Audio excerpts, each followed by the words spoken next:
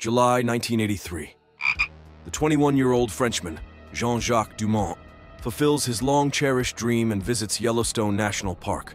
After the first exciting hours in the park, Dumont feels an intense urge to discover the park's wildlife up close. He seizes the opportunity and leaves the tour bus, which has just stopped in front of a herd of bison.